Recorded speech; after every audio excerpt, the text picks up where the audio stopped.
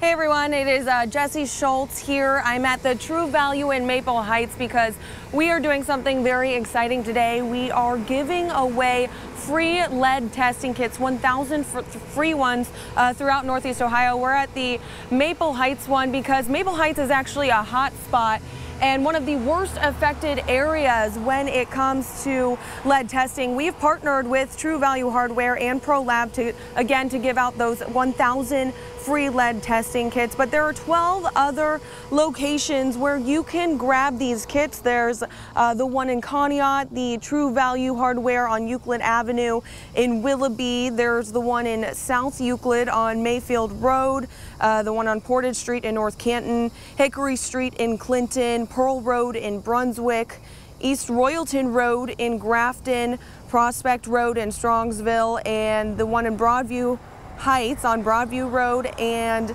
two in Cleveland, the one on St. Clair Avenue in Cleveland and East 131st Street in Cleveland. Now, when some of you think of lead, you may be thinking of the Flint water crisis, but thousands of children here at home are also suffering. It's been a problem for decades. We've been reporting on it, but mostly uh, in the Cleveland area, it comes from lead-based paint in older homes and the peeling of it. Kids can ingest that and that's really where the problem starts. Many, many homes were painted with lead paint up until 1978 when it wasn't allowed anymore. But just because it's not practiced anymore does not mean that that paint is gone.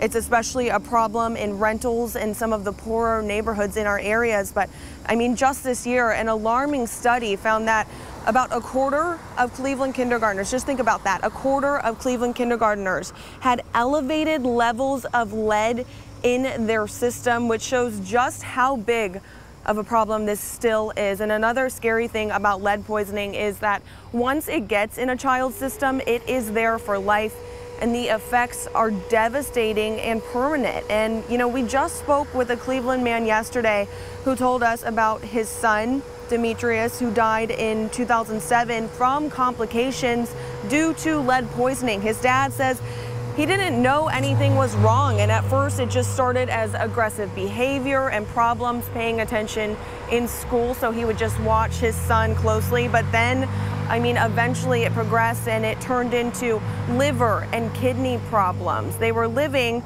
uh, in CMHA at the time when his son was first diagnosed with the poisoning at 10 years old. His father told us that when his son died, his last words were that no other kid should suffer like he had had to. And that was in 2007. So since then, his dad has been really working to get legislature and hold people accountable. accountable. But he says it's not just about one administration and holding one administration accountable because the problem has spanned decades. It's about all of us coming together, communities and civic leaders alike. And that is happening because just this week, community advocates talked to Cleveland City Council and gave their recommendations on what should be done to fix fix this. So that's an exciting thing that people are coming together. And some of the recommendations that they talked about were holding landlords accountable because a lot of this has to do with problems stemming from old rental homes and making sure that every home is lead safe by 2021. So it is on some of our community leaders' agendas. But again, we are here to get the word out. Um, we are partnering with True Value Hardware and ProLab to get these tests given out. Um, once these stores open, you can come and pick them up again at those locations that I named.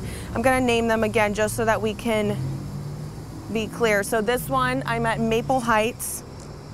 There is, here are the other locations. There's 13 locations that we are doing this at. The other locations are in Conneaut, uh, Willoughby, South Euclid, North Canton, Clinton, Brunswick, Grafton, Strongsville, Broadview Heights, and two in Cleveland, one on St. Clair Avenue and one on East 131st Street in Cleveland. But again, stick with News 5 because we have been reporting about lead poisoning for such a long time. And today, uh, Joe Pagonakis is taking an even deeper look into the effects that lead poisoning has had um, on kids in Northeast Ohio. He's going to start that reporting at 4. But uh, for now, I am live in Maple Heights. Jesse Schultz, News 5.